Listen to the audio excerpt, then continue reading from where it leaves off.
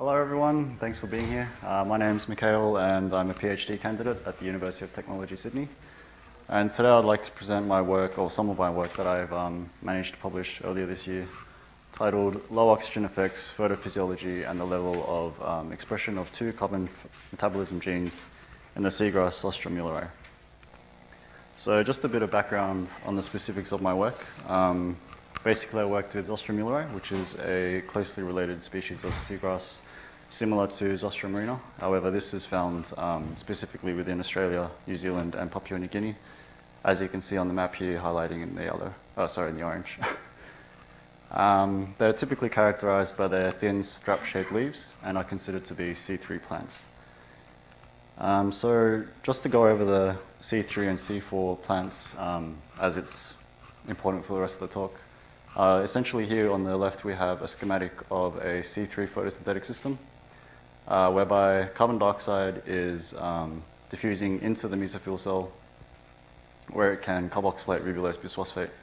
This produces a three carbon molecule, hence the name C3, uh, which is further reduced into a sugar used by the plant. Uh, the schematic on the right is a C4 model. So um, in this case, carbon dioxide diffuses into the mesophyll cell. However, it is converted to um, bicarbonate via the enzyme carbonic anhydrase. Uh, this bicarbonate is then um, able to carboxylate phosphoenolpyruvate via the enzyme phosphoenolpyruvate carboxylase, producing a four carbon molecule, hence the name C4, which is then transported into the bundle sheath cell, um, where it is further decarboxylated, releasing carbon dioxide, um, which is then available to uh, fix carbon, essentially.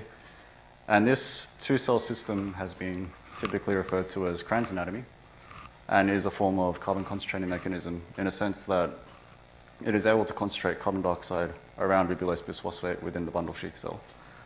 Now, this is important as ribulose bisphosphate is not specific.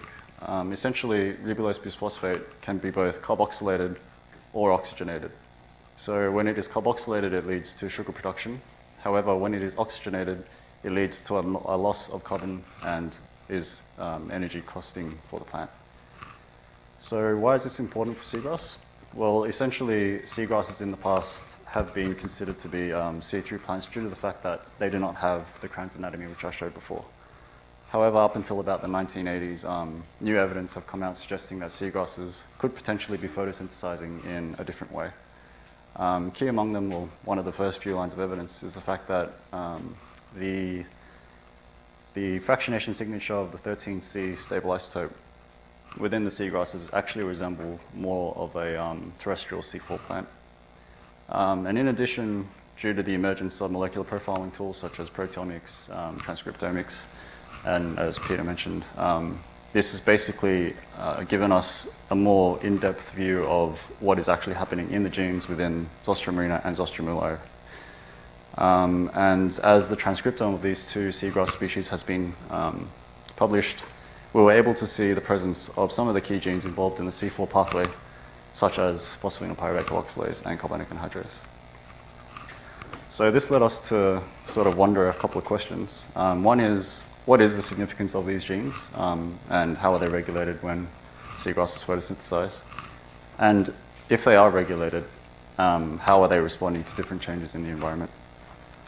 And so the specific aims of my project was to investigate how the photosynthetic and respiratory rates are affected um, by experimentally reduced oxygen concentration within the water column. And we did this by using um, electrochemical microsensors. We also wanted to investigate how the reduced oxygen concentration affects the expression levels of um, phosphoenolpyruvate carboxylase and carbonic anhydrase, and we did this by using um, molecular methods such as the reverse transcription real-time qPCR. So just briefly going over the materials and methods of my work. Um, I collected Zostera muelleri from Pittwater, Australia, which is about two hours north of Sydney. I um, exposed a group of seagrass to um, a low oxygen treatment of 9 micromoles of oxygen per litre over a period of 24 hours. And I did this by bubbling the water with nitrogen gas. Uh, this also had the effect of removing um, dissolved inorganic carbon. Um, so essentially it was removing all of the bicarb and the CO2. And so to mitigate this, we um, also bubbled CO2 into the water or back into the water. And we controlled it by uh, measuring the pH and maintaining the pH at 8.16 within the treatment and the control. Um, we also, oh, sorry, so at the end of this 24 hour period, we um, measured the oxygen production and uptake using oxygen microsensors, such as this one here. And then using the transcriptomic data um, that, we, or that UTS published earlier, um, we were able to design specific primers for the phosphoenolpyruvate carboxylase and carbonic anhydrase enzymes. And then we use those to perform the um, gene expression analysis. So moving on to the materials, uh, sorry, the, um, the results. I just want to go over the main results from my, from my paper. Um, essentially, we use the oxygen microsensors to measure the oxygen flux within the diffusive boundary layer, just above the leaf. And applying Fick's first law of diffusion, we were able to calculate the net photosynthetic rate um, in, in relation to the incident irradiance.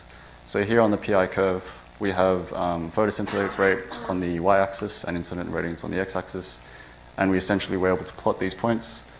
Um, the black, oh sorry, the uh, solid um, data points are the control. The, um, the open triangles are the, um, the low oxygen treatment. And what we found was after a period of 24 hours, um, essentially the alpha, or the um, initial slope of the curve, was enhanced under low oxygen conditions. Similarly, when we performed the RT-qPCR, we found a significant difference within the uh, normalized uh, relative quantity of the two genes, PEP-C and CA. Um, and as you can see here, uh, compared to the control, there was a significant decrease in these two genes. So what does this all mean? Well, essentially, under, obviously under control conditions, uh, photosynthesis and photorespiration are occurring as they normally would. And um, carbonic anhydrase and phosphoenolpyruvate carboxylase um, are being expressed at the regular level. However, when we apply a low oxygen treatment over 24 hours, what we think is happening is that the reduced oxygen concentration within the water column is potentially reducing the instances of photorespiration and in thereby enhancing the photosynthesis. Um, this is somewhat supported by the, um, the increased alpha of the PI curve that I showed earlier. And this, this basically explains why we're seeing a decrease in um, the two genes which are typically associated with a carbon concentrating mechanism or a C4 pathway. Uh, so basically, this is somewhat um, typical of a C3 plant. However, the fact that this is being downregulated in response to the low oxygen condition implies that there is definitely something else going on other than just the plain old CO3, uh, C3 photosynthetic pathway. Um, however, there were some limitations of the work. Um, key among them was that I only just looked at the gene, um, gene expression. And as Peter mentioned before, there are other levels to this. So we didn't look at the proteins, we didn't look at how um, active those proteins were, and we didn't look at the metabolites. Uh, also, I only looked at two of the genes. Um, if you look at the KEGG map pathways of photosynthesis, obviously there's a whole myriad of other genes that you could look at. And also, um, I didn't look at how these genes responded to an increase in oxygen um, concentration within the water. So these are some of the things that I'll be looking at further in my PhD, and hopefully I'll have some answers to these questions in the future. Uh, I'd like to thank my fellow co-authors, um, two of which are sitting up the back there. Uh, without their help, I wouldn't have been able to do the work. Uh, this, I'd also like to thank the funding bodies, also um, the professional and technical staff at UTS for their support. And I'd also like to thank the uh, Vice Chancellor's Postgraduate Research Student Conference Fund and the Eva Maria Koch Student Travel Grant for their financial assistance. And thank you.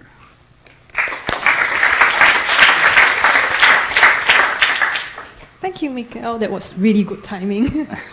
um, anyone has questions?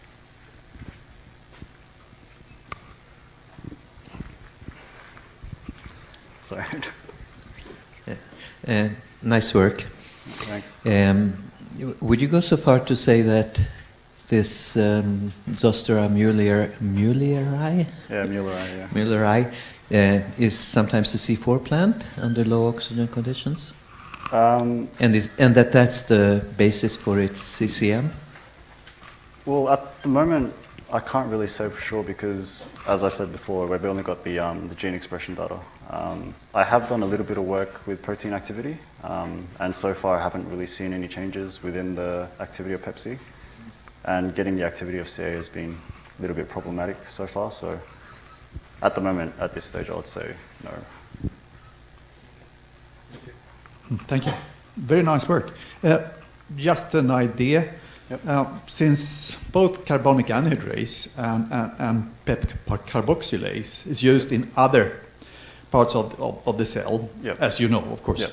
Yeah. Uh, and some water plants or aquatic plants use them to instead have a faculta- facultative uh, CAM. Okay.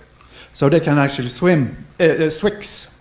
Oh, sorry, I can't talk today. They can switch between C3 and CAM when they need. Right. And they would need the same uh, uh, enzymes. Okay. So Could that be a possibility?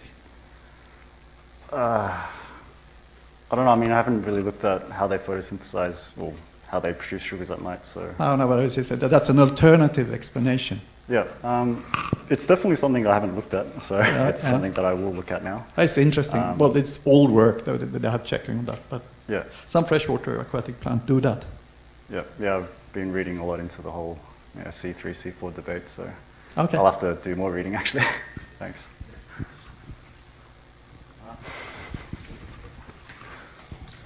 How about manipulating the carbon availability? Um, well, if we change the carbon chemistry of the water, we're also potentially affecting um, other things, so like the pH will definitely change. So we can't really isolate the effect that we see in the genes to um, a change in the carbon because it could be a response to the pH. So that would be a bit more difficult, I would say. But yeah. Yeah, that's uh, a bit following up this question. Uh, I mean, in the field, oxygen and CO2 they are covariating. I mean, like DIC uh, Yep. with a ratio that is a bit higher than one, but I think it's due to the Seniban processes.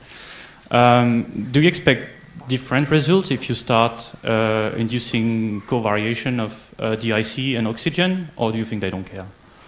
Um, if it was possible to look at just the genes by manipulating um, DIC, it could actually be informative, um, just in the fact that you know C4 is more of a carbon concentrating thing, whereas um, C3 isn't.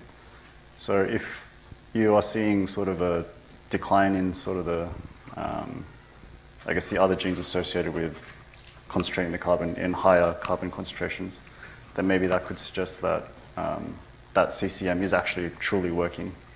And then I guess you could build a story on top of that. But yeah, I'm struggling to find out how to do that without affecting other things, such as the pH. Does that answer your question? Yeah, well, yeah. But yeah, gene expression is it's a bit tricky.